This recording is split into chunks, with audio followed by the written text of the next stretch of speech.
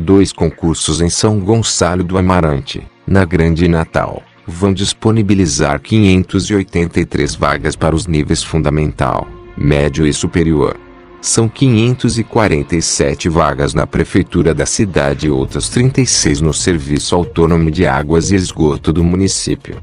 As inscrições foram abertas nesta quinta-feira, 5 de dezembro. Os salários variam de 998 reais a R$ 3.002,03. As inscrições vão até o dia 6 de janeiro de 2020 e podem ser feitas pelo site da banca encarregada de organizar o concurso. O edital também está no site da empresa.